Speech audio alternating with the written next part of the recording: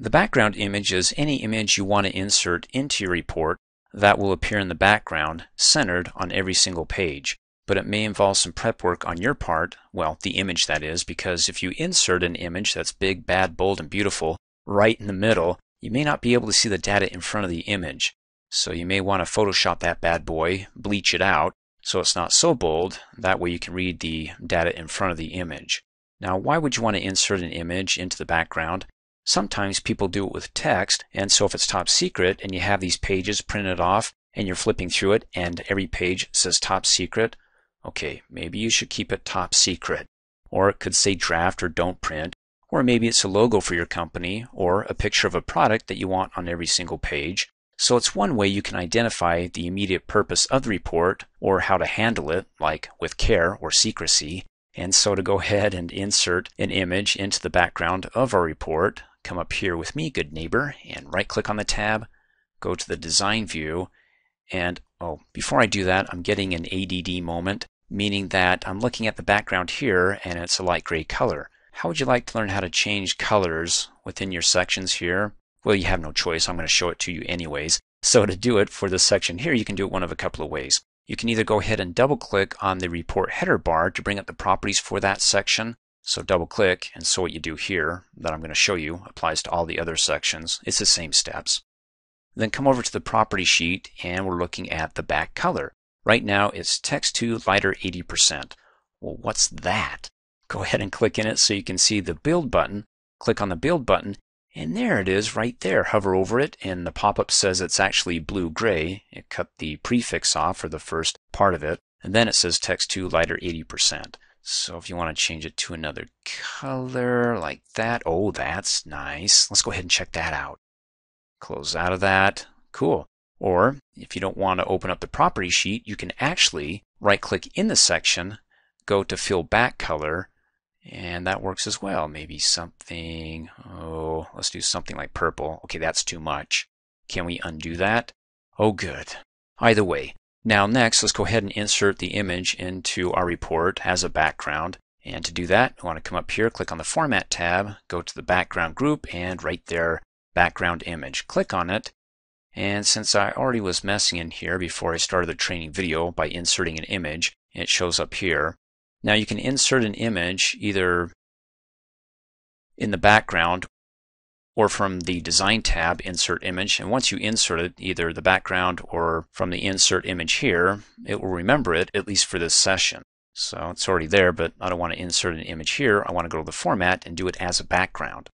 And so I can click on it since it's there, it inserts it. Let me undo that. Because if it's not there, then click on the drop down arrow and browse for it. So you can use the navigation pane. If it's on the desktop, select it, then come over here in the main window, your desktop, and it's in my exercises folder, double click. If you can't see it, then you probably don't have it set to look for it. So click on the type arrow and say you want to see all files, and there it is. Double click on it and it adds it. And it's not going to be good because that image is bold. It's not bleached, but that's the purpose of the training video to show you what it looks like if you don't bleach your image here. And how are we going to check on that? Well, let's go ahead and right click and go to the report view. And oh, looky there. I can read the data as clear as day, but I can't see the image. And you know, we got these data fields that have the white background, so it's over on top of the image. Okay, so that's the report view. How about when I print it off? Because what you see in the print preview is what's going to come out of your printer. So let's right click and go to the print preview. And we need to scroll over just a bit down. So Oh, that's horrifying. Look at that. I can't even see it at all. So the data is just totally blocking out. So what's the purpose of inserting a background image if you can't see it in the report? So what we need to do is we need to go ahead and right click, go back to the design view and make some changes here. So first thing is, is these fields, uh, the background color is white and so with that in front of it I'm not able to see the image behind it. So let's go ahead and select these three fields because those are the only ones that is in the way here. The department name is over far left enough that it's not over the image, so we don't have to worry about that. So to select these three fields, let's go ahead and start over to the far left and marquee them. As we talked about in an earlier training video, just click and drag a line through the fields, let go, and it selects all three. And let's go ahead and bring up the property sheet for the three text boxes by coming up to the Design tab, going to the Tools group, click on Property Sheet, and we're on the Format tab, which is good because it eliminates all the fields that are available. We just want to focus on the formatting fields. It still looks like a lot. And we want to look at the back style from normal, click inside of it, click on the drop down arrow, and we want to make it transparent. Close out, and looky there, I can see right through. Well, let's really looky there by right clicking on the tab and going to our print preview. Okay, we can see more of it, but we still have what are called these alternating row colors. And you know what? We also have this summary department code that's in the way as well. Oh, that's annoying. We'll address these alternating row colors in just a minute, but let's get rid of this. Right click, go to the design view, and it's this box right here, the department code footer. And so we want to go ahead and double click on the border to bring up the property sheet. We're on the format tab. Nice. Let's go ahead and back style, double click to transparent. Like I said, you can just double click to toggle between the options that are available as opposed to clicking on the drop down arrow. And then let's go ahead and right click, go to the print preview. Okay, now we got a line going through it. So we got rid of the color, made it transparent, but we still have a line around the border of the box. Right click, go back to the design view. Phew, this is a lot of work. And with it still selected, we've got the border style that's solid. Let's click in there and click on the drop down arrow and make it transparent. And then let's come up here, right click on the tab, go to the print preview, and hey, the line's gone. Nice. The only thing we're dealing with now is the alternating row color here. So we've got every other record is going to be in gray and the others are going to be transparent. So that way it helps us when we're reading the report, these banded rows, where when I'm reading one row, my eyes don't ski waver down below because if I get outside of the gray area into something else, I'm not in the gray, right? Of course, it works for the transparent. If I'm reading this row and my eyes start moving up, I'm like, oh, not in the transparent, I'm in the gray, top or bottom. So if that doesn't bother you as much as wanting to be able to see your background image, you can get rid of the alternating color for these records here, the banded row color.